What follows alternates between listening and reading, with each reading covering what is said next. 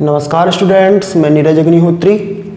आपके सामने लेकर आया हूँ हमारे रसायन विज्ञान का पहला चैप्टर, ठोस प्रावस्था। तो ठोस प्रावस्था को समझने से पहले या ठोस अवस्था को समझने से पहले हम सभी ये देखें कि अभी हमने इसके बारे में पढ़ा क्या है। या इससे और पीछे जाएँ, पिछली क्लासेस में जाएँ तो हम इसके बारे में कितना जानते हैं। तो ठोस आपको मालूम है कि पदार्थ की एक अवस्था है। और पदार्थ की इसके अलावा और भी अवस्थाएँ हैं, जिनमें मुख्य अवस्थाएँ आपको मालूम है, ठोस, द्रव और गैस। और इन्हीं अवस्थाओं के बीच अंतर क्या होता है, यह भी हमें पता है। तो हमें अभी पढ़ना है ठोस अवस्था या ठोस प्रावस्था। तो हम जो है, वो द्रव और गैस के बारे में ना बात करके हम सीधे ठोस पर आते हैं और जब हम ठोस के गुणों को समझेंगे, तब मैं आपको द्रव और गैस तथा ठोस के साथ उनके अंतरों को डिस्क्राइब करते जाऊँगा। तो हम सबसे पहले देखें कि ठोस प्रावस्था में ये जो ठोस है, ये क्या है? हम सभी को मालूम है कि ठोस क्या होता है। हमने छोटी क्लासेस में डेफिनेशंस पढ़ी हुई हैं कि भाई ठोस क्या है। लेकिन अब जब आप क्लास ट्वेल्थ में आते हो तो क्लास ट्वेल्थ में या बड़ी क्लासेस में या हायर क्लासेस में ठोस की वो जो हमने छोटी क्लासेस में परिभाषाएँ पढ़ी हैं, वो हमें नहीं डिस्क्राइब करनी है। तो हम फिर ऐसी कौन सी डेफिनेशन है जो कि बताएँ या समझें जिससे हमारा स्टैंडर्ड जो है वो बढ़ जाए? तो आइए हम सबसे पहले ठोस के बारे में बात कर लेते हैं। तो भाई ठोस जो है, वो द्रव की एक अवस्था है और द्रव की ऐसी अवस्था है जिसमें जो अवयवी कण है है ना? जिसमें जो अवयवी कण है। अब ये जो मैंने वर्ड बोला है, अवयवी कण तो ये अवयवी कण से क्या मतलब है? अवयवी कण मतलब क्या? तो जरा देख लेते हैं कि भाई ये जो ठोस में जो अवयवी कण है, ये कौन से कणों की बात यहाँ पर की जा रही है? तो ये जो अवयवी कण है, वो हो सकते हैं अणु, परमाणु एवं आयन। करेक्ट है? ये अवयवी कण क्या हो सकते हैं? अणु, परमाणु एवं आयन। तो जो ठोस है वो द्रव की ऐसी अवस्था है जिसमें अवयवी कण जो है, वो प्रबल अंतरा अणुक बल के द्वारा एक निश्चित आकृति में या एक जालक में संवृत संकुलित होते हैं। अब मैंने एक और नए वर्ड का यूज़ किया है। संवृत संकुलित।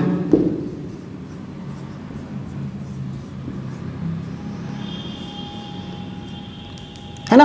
अब संवृत संकुलित का क्या मतलब होता है? बड़ा टफ सा वर्ड समझ में आ रहा है। तो संवृत संकुलित वर्ड के लिए अपन इंग्लिश में अपन ने पढ़ा हुआ है क्लोजली पैक्ड यानी कि बहुत पास पास जमा हुआ होना। तो यही मतलब होता है संवृत संकुलित का।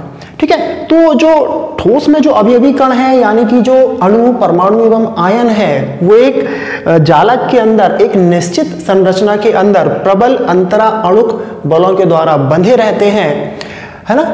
कैसे बंधे रहते हैं? ये समृद्ध संकुलित होते हैं। मतलब कि बहुत पास पास होते हैं। इनके बीच में जो आ, बल लगा हुआ है, वो इनको बांधे रखता है बिल्कुल पास पास में और उन्हें बिखरने नहीं देता है या उन्हें टूटने नहीं देता है, जिसके कारण ये क्या कहलाते हैं? ठोस कहलाते हैं।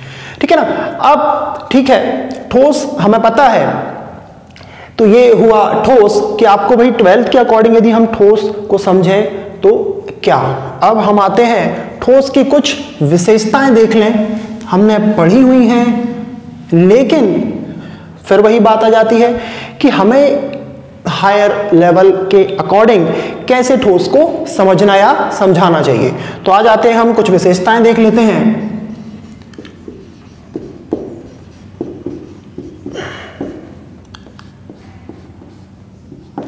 तो विशेषताओं में पहली विशेषता तो यह है कि जो ठोस होते हैं, उनके जो आकार हैं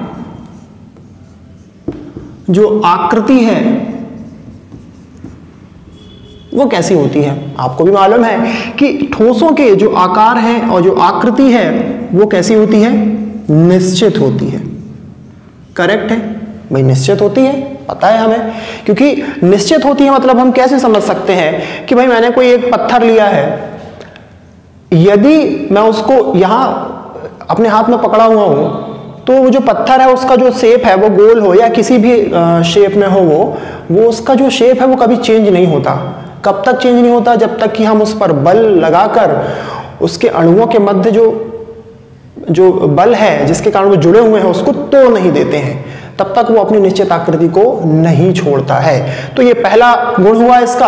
अब इसके बाद जो दूसरा गुण है, वो क्या है कि अवयवी कण अवयवी कण कैसे होते हैं? अवयवी कण बहुत पास या कहना चाहिए निकट बोल सकते हैं हम, उपस्थित रहते हैं।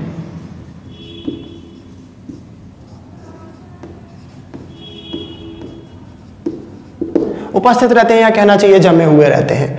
सिंपल कोई भी वर्ड हम यूज़ कर सकते हैं जो हमारी डेफिनेशन को वहाँ पर कंप्लीट करे, सही करे। अब इसके बाद थर्ड जो प्रॉपर्टी आती है एक ठोस की, वो ये है कि भाई जो ठोस है, उसका घनत्व जो है, वो द्रवों और गैसों से कैसा होता है? अधिक होता है। ठीक है ना? इस घनत्व के कारण ही जो ठोसों का भार है, वो द्रव या गैस की उतनी ही मात्रा से अधिक होता है। ठीक? तो क्या कहेंगे हम? कि घनत्व जो है ठोसों का, द्रव एवं गैस से अधिक ये तीसरा गुण हो गया। फिर चौथा गुण देख लेते हैं। भाई, ये जो ठोस होते हैं, इसमें विसरण की क्रिया नहीं होती है। अब आप कहेंगे, सर, विसरण क्या होता है? ये कुछ वर्ड्स ऐसे हैं जो हमने पढ़े हुए हैं, लेकिन कभी ध्यान नहीं दिया। भाई, विसरण का गुण नहीं पाया जाता।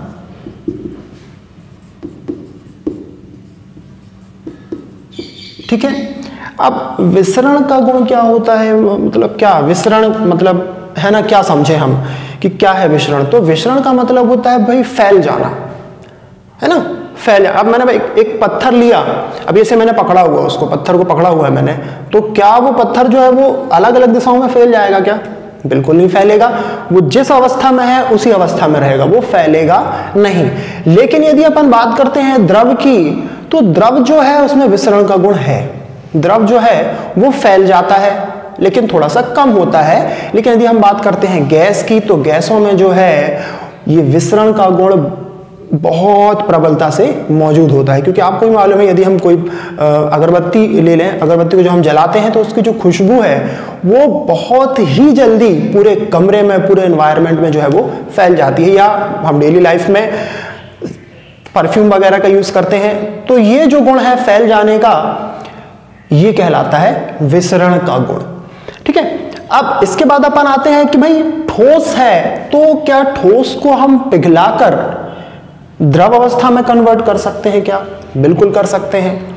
क्यों? क्या होता है कि जो कुछ द्रव जो होते हैं, उन्हें यदि हम बहुत उच्च ताप पर गर्म करते हैं तो वो जो है पिघलने लगते हैं। ठीक है ना?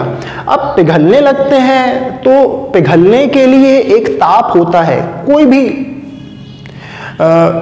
वस्तु लें हम, यदि वो पिघलती है तो जिस ताप पर पिघलती है उसे हम कहते हैं भाई गलनांक। क्या कहते हैं? गलनांक। आप लोगों को पता है ये। लेकिन एक जो गलनांक हम सभी को मालूम है, लेकिन एक जो मेन जो चीज़ मैं आपको बताने वाला हूँ, मैं इसको रफ कर देता हूँ, फिर मैं आपको बता देता हूँ। एक जो मेन यहाँ पर वर्ड है जो हम ट्वेल्थ या हायर क्लासेस के अकॉर्डिंग देखते हैं, गलनांक हम सभी ने पढ़ा हुआ है। एक वर्ड है यहाँ पे गलनांक बिंदु।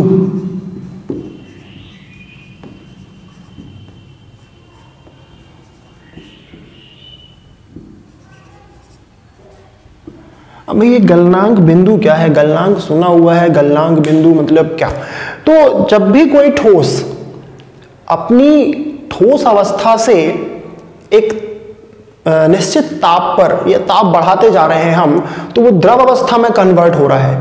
तो वह तापमान, है ना? वह निश्चित तापमान जिस पर वो जो ठोस है, वो द्रव अवस्था में कन्वर्ट हो रहा है। मतलब यदि हम गर्म करते जा रहे हैं उस ठोस को तो एक निश्चित टेम्परेचर या एक ऐसा तापमान आता है जिस पर वो जो ठोस है वो पिघलना स्टार्ट कर देता है। तो वह तापमान क्या कहलाता है? गलनांक बिंदु। समझ रहे हैं आप?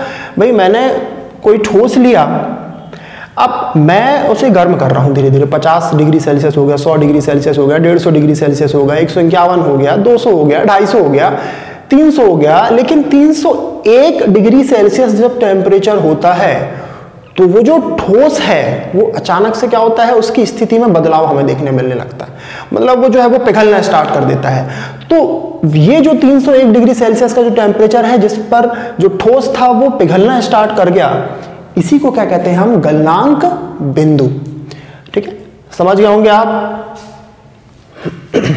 आगे बढ़ते हैं हम। हम बात कर रहे थे भाई ठोस की। अब हमने पदार्थ की अवस्थाएँ पढ़ी है छोटी क्लासेस में। अब ठोस की अवस्थाएँ भी होती होंगी कुछ, है ना? तो ठोस की अवस्थाएँ क्या होती हैं, इसके बारे में थोड़ा सा डिस्कस कर लेते हैं। काफ़ी इंपॉर्टेंट चीज़ है ये। तो ठोस के बारे में हम देखें तो ठोस की जो है, वो मुख्यतः यहाँ पर हमने अभी दो अवस्थाएँ पढ़नी है।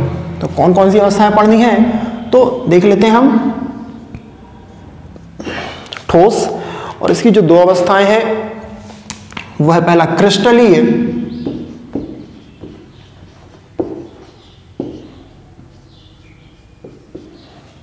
और दूसरा है अक्रिस्टलीय।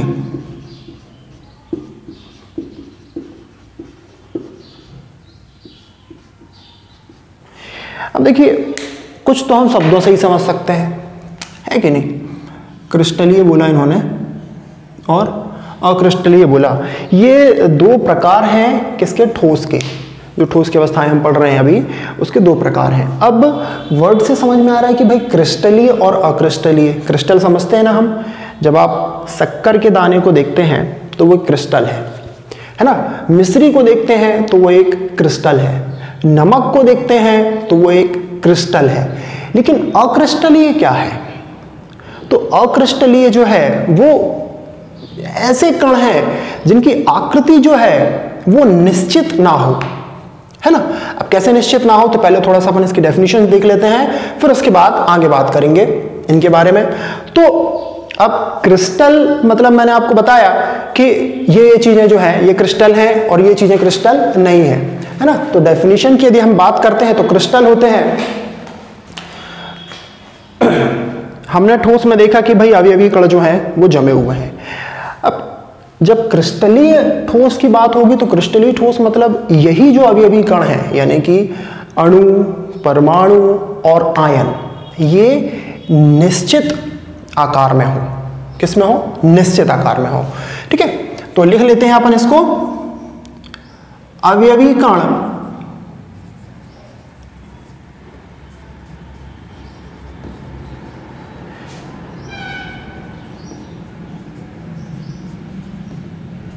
निश्चित आकार में हो। करेक्ट है? इसका एग्ज़ाम्पल भी देख लेते हैं हम। तो एग्ज़ाम्पल में मैंने बताया आपको शक्कर और कुछ।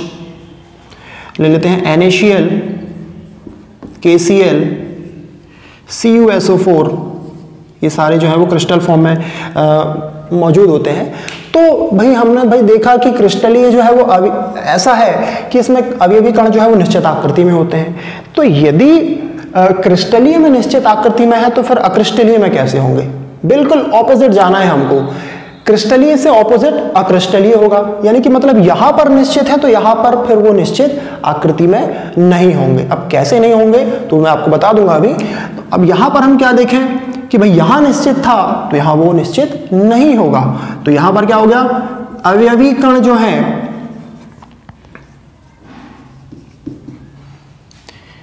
अनिश्चित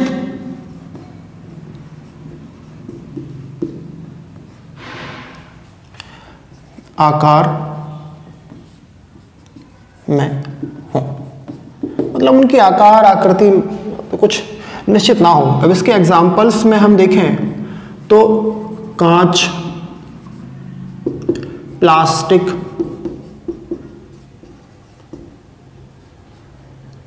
ये कुछ एग्ज़ाम्पल हैं जिनको हम समझ सकते हैं। अभी मैं आपको बता देता हूँ। अब देखिए, हम समझें कैसे इसको? अभी कर्ण निश्चित आकार मतलब क्या होता है? आप एक मिश्री लीजिए, है ना? मिश्री समझते हैं ना?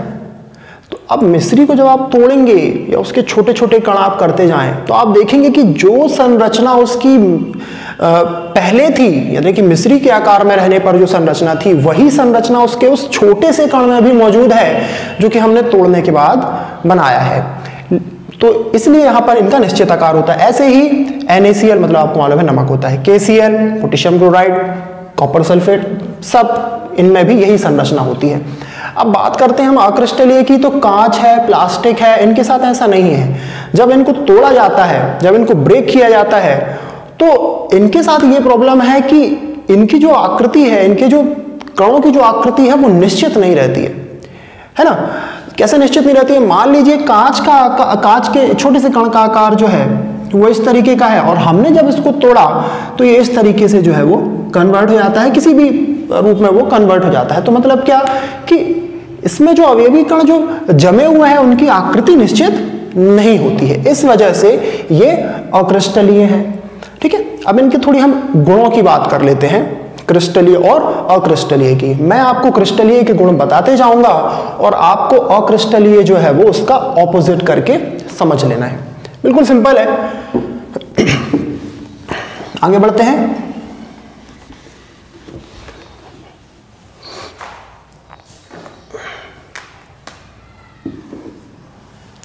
तो देखिए, पहला गुण जो है इसका तो क्रिस्टलीय में जो है वो निश्चित ज्यामिति होती है, निश्चित आकृति, ज्यामिति हम सब जानते हैं।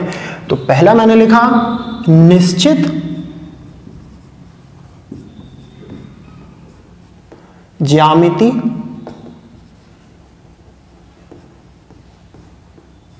या आकृति, आप बोल सकते हैं। तो यदि यहाँ पर निश्चित है तो यहाँ पर डेफिनेटली अनिश्चित होगी। करेक्ट है? फिर भाई सेकंड देख लेते हैं। तो सेकंड जो है कि इनके कणों के मध्य।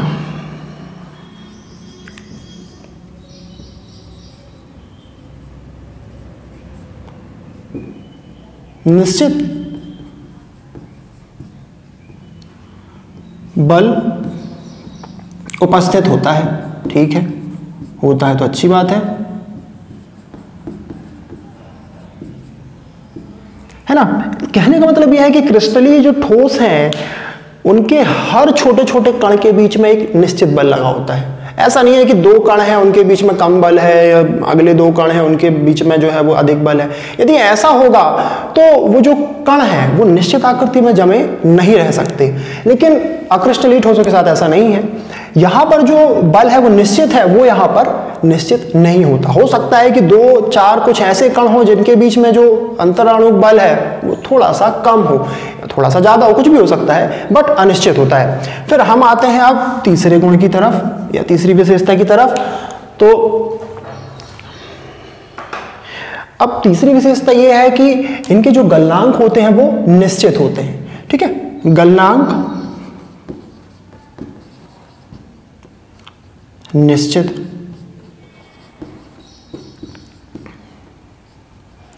अब भाई गलनांक निश्चित होते हैं, ठीक है, होते होंगे। प्रैक्टिकल तो किया नहीं हमने। बट देखें इसको समझते हैं कैसे। जब अपन ने बात की कि यहाँ पर जो बल है, कणों के बीच में, वो निश्चित है। करेक्ट है ना? तो अब यदि मैं उन बलों, जो कण है, उनके बीच में एक बल लगा हुआ है, अब उन कणों को मैं ब्रेक करना चाह रहा हूँ। जब मैं उन कणों को तोड़ूँगा, जब उनके बीच में जो लगा हुआ बल है उसको अलग करूँगा, तभी वो जो है ठोस से द्रवस्था में कन्वर्ट होंगे। अब क्योंकि हर कण के बीच में एक सा बल लगा हुआ है तो हर कण को तोड़ने के लिए जो गलनांक होगा, वो निश्चित होगा, क्योंकि बल भी एक सा है सारे कणों के बीच में।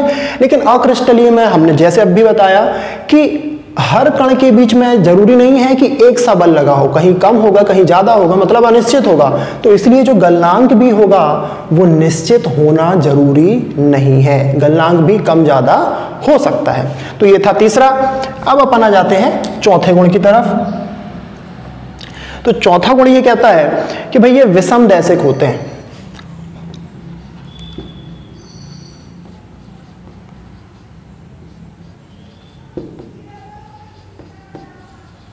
क्या होते हैं ये? विषम दैसिक होते हैं। अब विषम दैसिक क्या होता है? ये नए नए वर्ड जो हैं, ये प्रॉब्लम क्रिएट कर देते हैं यदि हम इनको ना समझें तो। तो विषम दैसिक का मतलब क्या है? अब विषम दैसिक चीज़ों के बारे में हमें समझने के लिए पहले तो इनके भौतिक गुणों को समझना पड़ेगा कि जो क्रिस्टलीय ठोस है और जो अक्रिस्टलीय ठोस है, जब हम इनको भौतिक गुणों को देखते हैं तो वो जो है वो विषम दैसिक यहाँ पर होते हैं विषम दैसिक और यहाँ पर होते हैं सम दैसिक। तो मतलब क्या? तो मतलब ये इसका ये हुआ कि एक क्रिस्टल में यदि मैं इलेक्ट्रिसिटी जो है वो फ्लो करता हूँ धारा प्रवाहित करता हूँ या चुंबकीय गुण प्रवाहित करता हूँ है ना? या कहना चाहिए मैं आ, गर्मी या है ना ताप जो है प्रवाहित करता हूँ तो वो जो ताप है या वो जो धारा है या वो जो चुंबकीय जो क्षेत्र है या रेखाएँ हैं वो अलग अलग दिशाओं में बहने लगती हैं। समझ रहे हैं आप?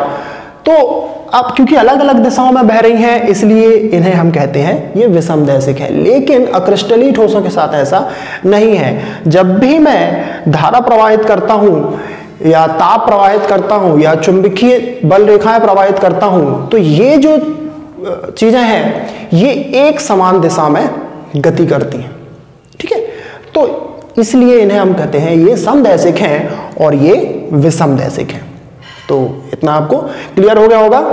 तो ये थे क्रिस्टलीय और अक्रिस्टलीय ठोस। अब हम आगे बढ़ते हैं। तो ये था क्रिस्टलीय और अक्रिस्टलीय ठोस। आशा करता हूँ आप लोगों को समझ में आ गया होगा। अब हम थोड़ा सा आगे बढ़ते हैं। अब हम ये देखते हैं कि अब ये जो ठोस है, क्रिस्टलीय ठोस या क्रिस्टलीय ठोस जो है है ना, इनके और छोटे छोटे चीज़ों के बारे में हम समझते हैं। तो सबसे पहले हम देखें, एक वर्ड आप लोगों ने सुना हो या ना सुना हो क्रिस्टल जालक। भाई क्रिस्टल जालक क्या है? है ना? क्रिस्टल्स में जालक। जालक मतलब कि बहुत छोटे छोटे से हिस्से हैं अभी अभी कण हैं यूनिट सेल जिनको हम बोलते हैं। यदि हम उनको जमा देते हैं तो उनकी एक पूरी संरचना बन जाती है। अब वो संरचना क्या कहलाती है? एक क्रिस्टल जालक कहलाती है। लेकिन वही जो छोटे छोटे अवयवी कण हैं या छोटे छोटे सेल्स हैं, वो क्या कहलाते हैं? जिससे मिलकर ये क्रिस्टल जालक बन रहा है। तो ये कहलाते हैं एकक सेल क्या कहलाते हैं ये? एकक सेल थोड़ा सा इसको हम एक डायग्राम की मदद से समझते हैं कि मान लीजिए एक क्रिस्टल है। अब क्रिस्टल का आकार कैसा बना लें हम? मैंने इसे एक घन के आकार का बना लेता हूँ, फिर उसके बाद आपको समझा देता हूँ कि भाई कैसे क्या है क्रिस्टल जालक और क्या है एकक सेल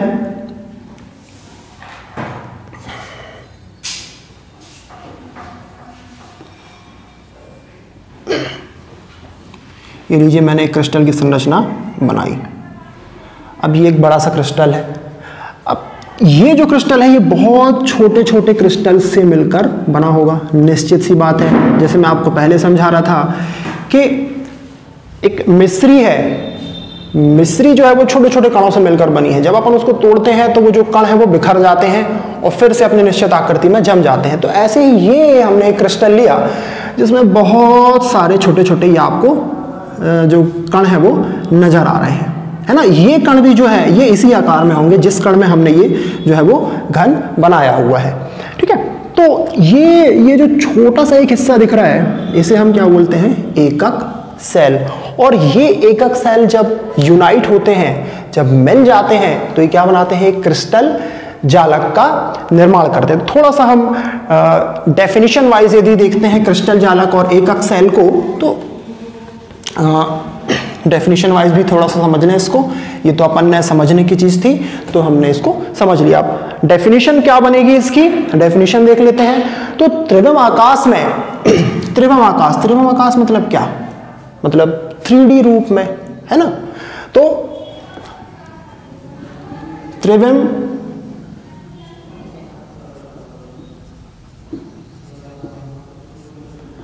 आकाश में किसी क्रिस्टल के एककों की नियमित व्यवस्था को।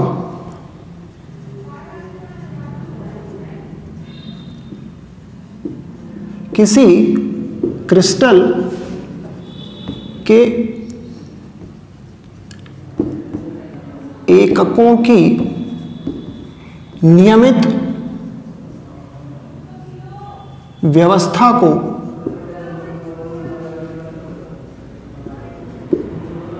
क्रिस्टल, जालक कहते हैं। समझ गए होंगे आप, मैंने पहले ही आपको डायग्राम से समझा दिया है। तो ये है भाई क्रिस्टल जालक कि त्रिविम आकाश में मतलब कि थ्री हम एक डायग्राम ले रहे हैं। जैसे कि मैंने आपको घन का एग्जांपल बताया तो त्रिविम आकाश में किसी क्रिस्टल के एककों की नियमित व्यवस्था को क्रिस्टल जालक कहते हैं। अब देखिए, यहाँ पर वर्ड आया, एकक। है ना? एकक तो एकक को देख लेते हैं। एकक सेल या इसी को लिखा जाता है, इकाई सेल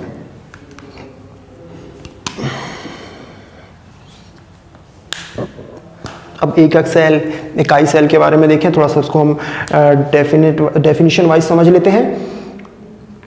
ये जो सूक्ष्म, सूक्ष्मतम संरचना होगी, है ना? कौन सी सूक्ष्मतम संरचना? ऐसी सूक्ष्म, सूक्ष्मतम संरचना जो कि क्रिस्टल जालक को बना रही है। तो अपन डेफिनेशन क्या लिखे हैं? कि किसी क्रिस्टल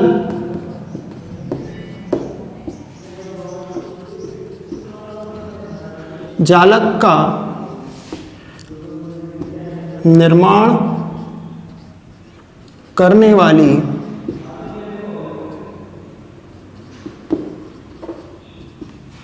सूक्ष्मतम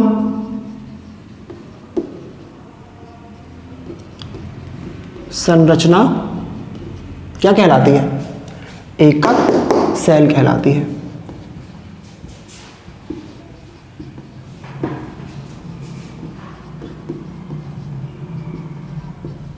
करेक्ट है? बात समझ में आ गई होगी आप लोगों को कि क्रिस्टल जालक क्या है कि बहुत सारे हमने एकक सेल लिए और उनकी जो व्यवस्था जो बनी उनके संग्रहित होने के बाद, जमने के बाद तो वो क्रिस्टल जालक हुई। अब जब एकक सेल देखते हैं तो बिल्कुल उसके उल्टा पहुँच चले जाए कि किसी क्रिस्टल जालक का निर्माण करने वाली सूक्ष्मतम संरचना क्या कहलाती है? एकक सेल कहलाती है। बिल्कुल सिंपल है। सिंपल से वर्ड्स में अपन इसको समझ सकते हैं। अब देखिए कुछ एकक सेलों की व्यवस्था के बारे में अपन बात कर लें।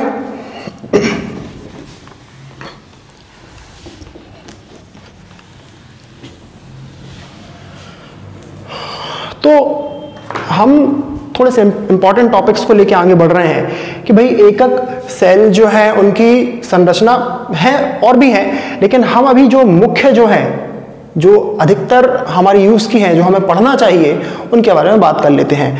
तो एकक सेल में हम देखेंगे घनीय एकक सेल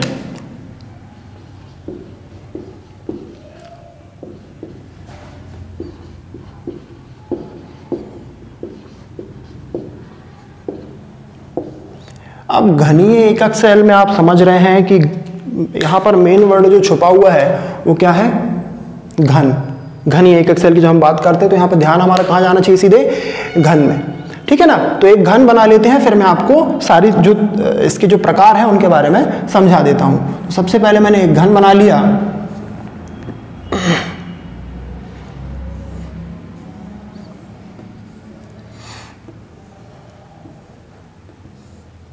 अब घनी एकक सेल के तीन प्रकार।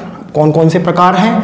तो ये है घनीय एकक सेल के प्रकार, सरल घनीय सेल अंत केंद्रित घनीय सेल फलक केंद्रित घनीय सेल। अब हम पहले बात कर ले भाई सरल घनीय सेल की। तो सरल घनीय सेल का मतलब ये हुआ कि ये जो घन हमें दिख रहा है है ना? इसके, ये जो है, इसको अपन बोलते हैं वर्टेक्स कोने जिसको, है ना? तो सरल घनीय सेल में जो परमाणुओं की व्यवस्था होती है, वो इसके कोनों में होती है, ये जो कोने आपको दिख रहे हैं, है ना? तो ये क्या बना रहा है? ये एक सरल घनीय सेल, यानी कि एक परमाणु जो होगा, वो कहाँ पर स्थित होगा? एक घन के जो कोने बने हुए हैं वर्टेक्स जो है, वहाँ पर। ठीक, अब बात हम करते हैं, ये आप समझ गए होंगे, बात हम करते हैं अंत केंद्रित की अंत केंद्रित जो है इसके बारे में बात कर लेते हैं। तो अंत केंद्रित में, ये तो ठीक है वर्टेक्स तो ठीक है, कोने ठीक है, लेकिन उसके अलावा उसके अलावा ये जो परमाणु स्थित होता है, ये इसके केंद्र पर भी स्थित होता है। कहाँ पर भी स्थित होता है? केंद्र पर भी स्थित होता है। करेक्ट है?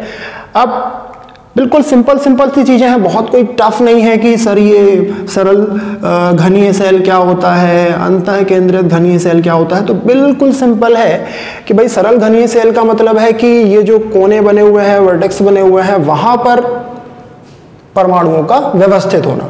अब जब अंत केंद्रित की बात करते हैं तो ठीक है, कोने ठीक है। इसके अलावा और कहाँ पर होगा? केंद्र पर होगा। यानी केंद्र मतलब ये पूरे के पूरे घन का जो केंद्र होगा, वहाँ पर परमाणु एक स्थित होगा। तो ये क्या होगा एक अंत केंद्रित ध्वनि सेल। अब हम बात करते हैं फलक केंद्रित।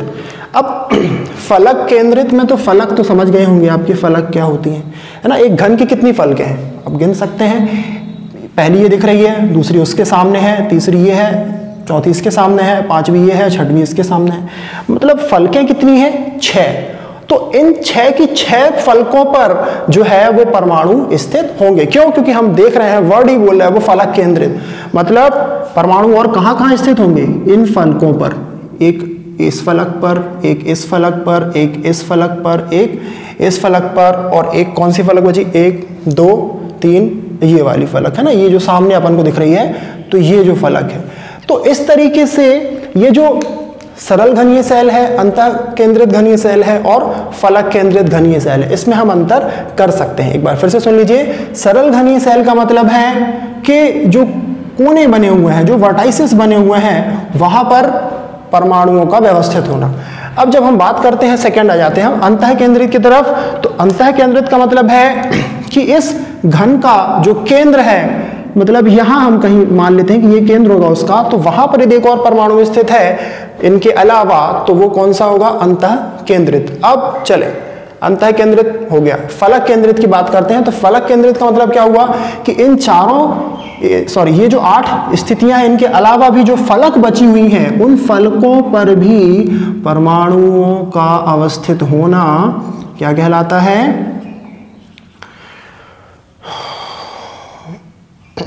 ऊपर। ये कहलाता है फलक केंद्रित घनीय सेल। अब इसके आगे, इसमें और क्या चीज़ें हो सकती हैं? इसमें और कौन से छोटे छोटे जो टर्म्स हैं वो यूज़ होंगी, इसके बारे में हम अगली वीडियो में बात करेंगे। फ़िलहाल आप इतना देखिए, इतना समझिए, यदि इसमें और कोई कंफ्यूजन है तो बिल्कुल आप पूछ सकते हैं कमेंट कर सकते हैं। और यदि अच्छा लगता है तो प्लीज़ लाइक कीजिए शेयर कीजिए और हमारे चैनल को सब्सक्राइब करना मत भूलिए। धन्यवाद, जय हिंद, वंदे मातरम।